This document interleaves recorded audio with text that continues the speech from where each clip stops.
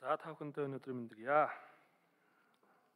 Төсвийн хууль, төсвийн дагаж хамт өргөн мэдүүлсэн хуулиудаас асуултууд байна. За уул уурхайн Бээжийн хуулийг бид батлаад төдийл удаагүй байна. Энэ хуулийн үйлчлэлээр Монгол улсын эдийн засаг томоохон өөрчлөлтүүд бий болсон. Монгол Монгол улсад нэлээд төсөвт нэлээд нэмэх өнөө автарсан юм хууль болсон гэж та харж байгаа. Анх удаа төсөв давж биелсэн түүгээрээ бид нэр салин хөс тэтгэр дэвшмжтэй холбоотой асуудлуудыг ч гэсэн нэмэгдүүлэх арга хэмжээнүүдийг аваад ажиллаж байгаа.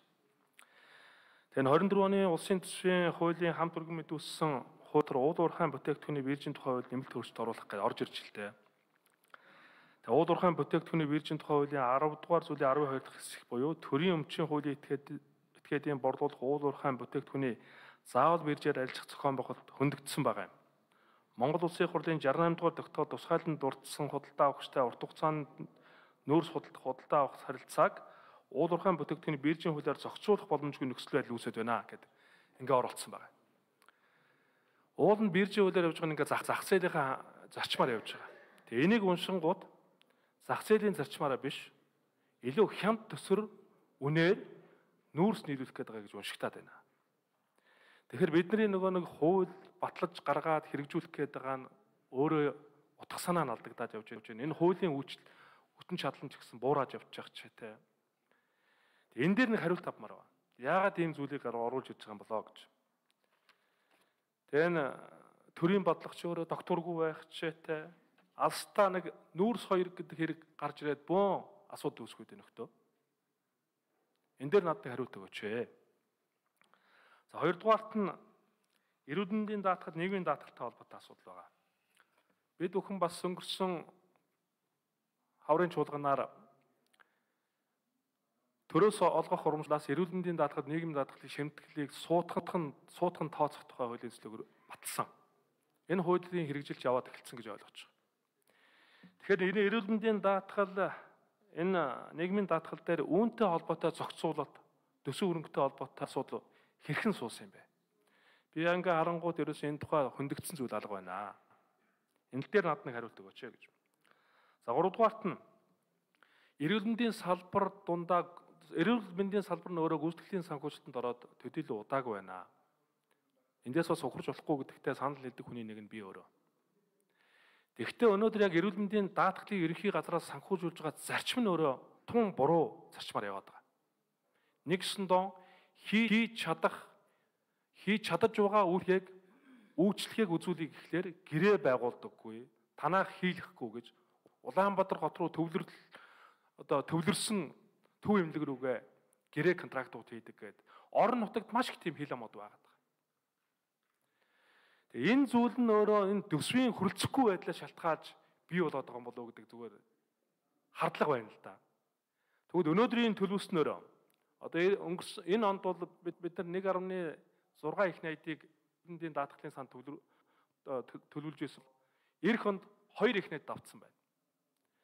Энэ төлөвлөлтөөрөө бид нэр ирээдүйд ирэх онд энэ гүйцэтгэлийн санхүүжилтийг бүрэн дүрэ хангаж явах боломж олцоо байгаа гэж харж байгаа юу? Ингэж энэ асуудлыг бид нар шийдэж чадахгүй бол яг үндсэндээ бас гүйцэтгэлийн санхүүжилтанд орно орно гэж яриад байдаг.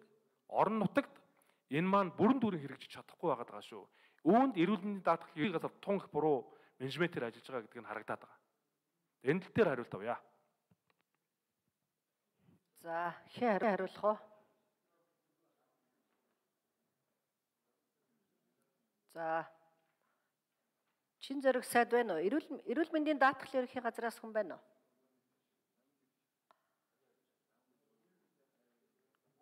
За, микрофон хэд үү? 84 санжаа дарга хариулъя. Эрүүл мэндийн даатгалт сангийн амны төсвийн бодлого төлтийн газрын дарга санжаад орж бодлого гишүүн асуулт хариулъя.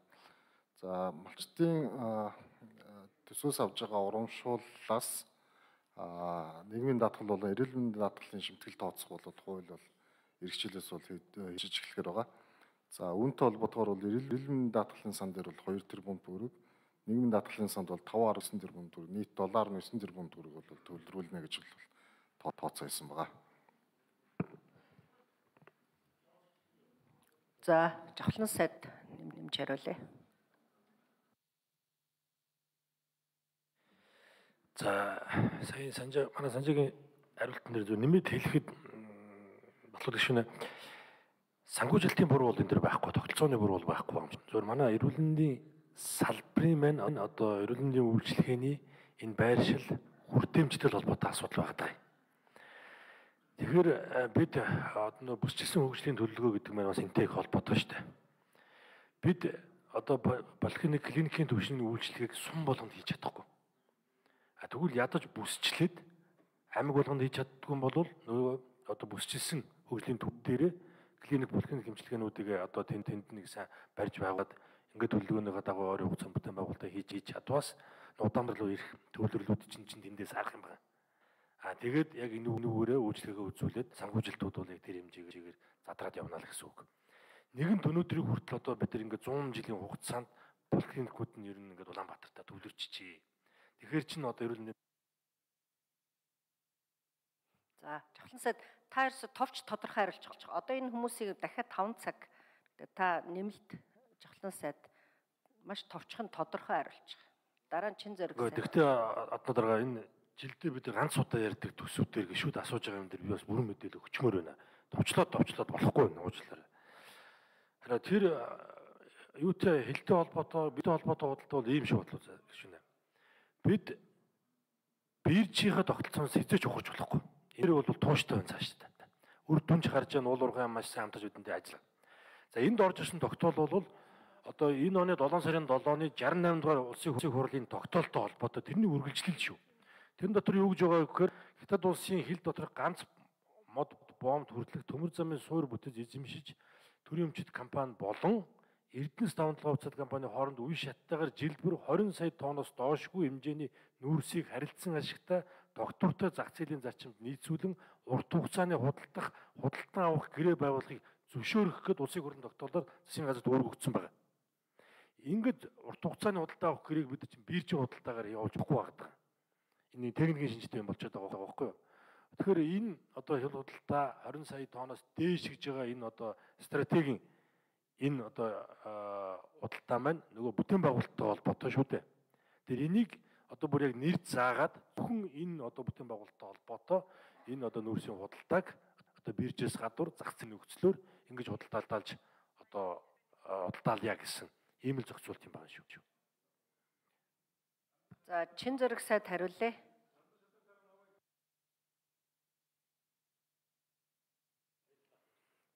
За бие батлуулагчийн асуулт нууч хариулъя. Ер нь бол эрүүл мэндийн тусан зөвшөлгийг чанар үр дүнд суурилсан гүйцэтгэл санхүүжтэй аргаар санхүүжүүлдэг арга шижээ бид 3 жилийн хугацаа боллоо.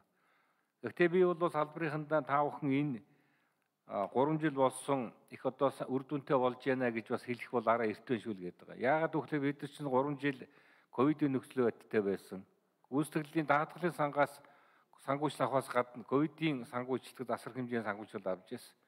Одоо яг 23 онтойгоо энэ гүйцэтгэлийн санхүүжилтөнд бодит амьдрал дээр яг жинхэнэ утгаараа хэрэгжих боломж нь бүр байна уугүй гэдгийг харах үнэтэйгээр тулах он чинь 23 он шүү гэж хэлээд 24 он шүү гэж хэлээд. Яг уу одоогоор бид нар засах хэдийд юм бол байна. Бат батлуудч байна. Ядаж аймгийн нэгдсэн эмнэлэг боот төрөлцсөн эмнэлгүүдийг бүгдийг нэг адилхан нэг шаталтай болгоод лавлага шат нэмлэг болгох За чин зэрэг сайд дуусал хариулъя. Энэ нэгдсэн эмнэлгүүд боот төрөлцсөн эмнэлгүүдийн чинь лавлага шатны эмнэлэг болгочихлоор арх тусам жүжиглэгээний давхцал бий болж байгаа асуудлууд байгаа. Орон нутгийн эмнэлгүүд эрүүл мэндийн байгууллагуудыг хийж чаддаг тусам жүжиглэгээг төрөлцсөн эмнэлгүүд нь хийдэг. Ийм асар давхцал бол байна. Энтэй холбоотойгоор бид нэр сангуучдын арганд өөрчлөлт хийгээд тариф бит нөөцлөлт хийгээд яг орон нутгийн эмнэлд нэгдсэн эмнэлэг бүсийн онцлог эмчилгээний төв чаддаг эмчилгээ тусламж үйлчлэгийг орон нутаг хийдэг байх. Агсан төвчний эрсдэлтэй ийм одоо төвчний үйлчлэгийг нь төрөлцсөн эмнэлгүүд хийдэг байхаа тарифд нэлийн өөрчлөлтөд оруулж өгсөн. Хоёр дахь асуудал нь эх жилээс бид нар энэ бүсийн коэффициент гэдэг бас цоош нь одоо коэффициент бол гаргаж оруулж бий болгоно. Энэ ингэснээр төвөөс одоо анслагдсан хүн ам багтай сумын эрүүл мэндийн байгууллагуудыг дэмжих хэвийн одоо үйл ажиллагаа явуулах ийм одоо бас зохицуултыг хийж ихгүй бол бас одоо болохгүй асуудлууд байгаа.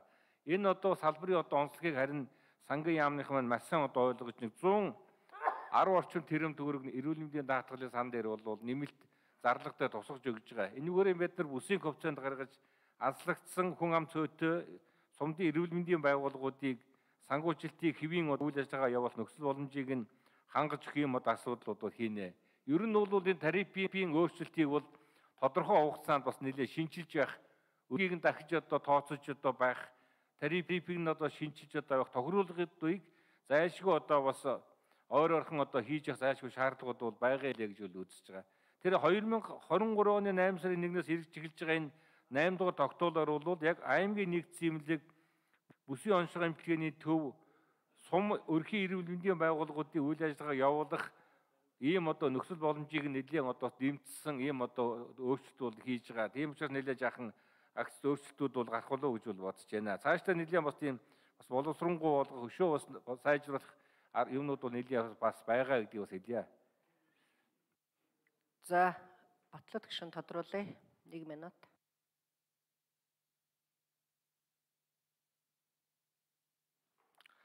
За энэ ашигт матбалын тухай хууль өөрчлөлт оруулах асуудлыг чи ингээд уншаад хар дандаа ухралт гарцсан юм шиг харагдаад байгаа байхгүй юу? Ерөөс шууд тэгж ойлгож байгаа. Зах зээлийн үнээр биш хямд үнээр нийлүүлэх гээд байна гэдэг.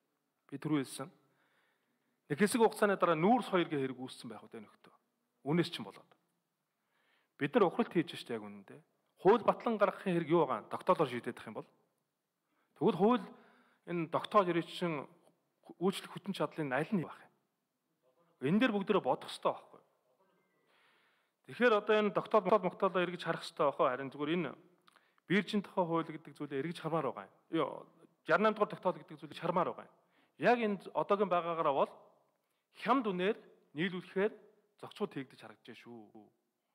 Магадгүй энэ чинь нүүрсний их тодорхойтой ахаад нэг хэрэг үүссэн бай. Үүсэх бий.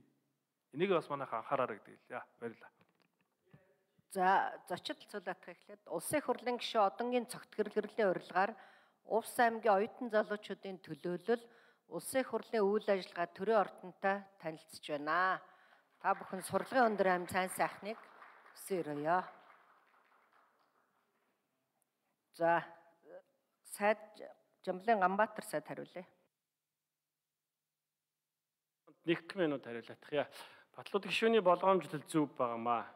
Тийм ч учраас яг ингэ ойлгогдож байгаа гэж үзэж байгаа учраас тогтгосрон гишүүний э, одоо ахалж байгаа ажлын хэсэгтэр маргааш одоо энэ дагах хууль чи маргааш орж ирэх юм.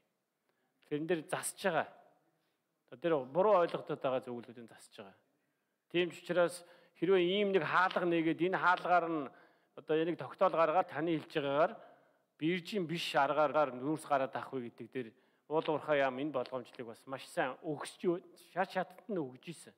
Ингээд төсөв дагаад ороод ирэхлээр одоо бид бас одоо засуулах гэж байна. Тэгээ маргааш бол тогтцоорын дараа өнөөдөр нөгөө маргааш оруулахдаа засаад оруулчих واخа гэж бодож байгаа ажлын хэсэг дээр. Та бас ажлын хэсэг дээр саналаа хэлээрэй. Баярлалаа. За, Норвеги Алтуй гişи асуулт асууя. За